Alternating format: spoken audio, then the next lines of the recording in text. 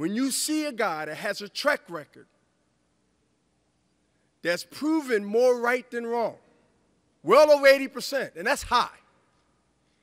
You got to sit back, even Thundercloud has to sit back and say, hey, listen, man, we got to fight. But in reality, he's going to be training just as hard, if not harder, than he ever trained before. Because history showed if you come unestim- underestimating Bernard Hopkins, you can, you can fall to the faith of others. Age is not an enemy to me.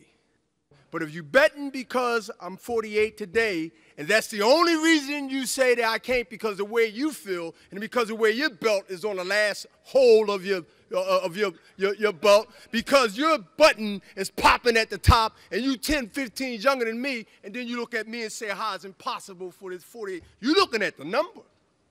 You're looking at the number, but you're not looking at the man.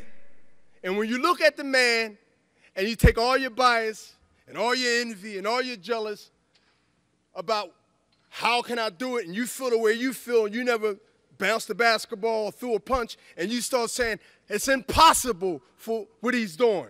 So he can't just by the number, then you're a fool. I, I really think Bernard Hopkins is trying to convince himself. You know, all the acting, banging on the podium and pointing fingers and stuff like that. He's he acting. I see straight through it. He ain't fooling me.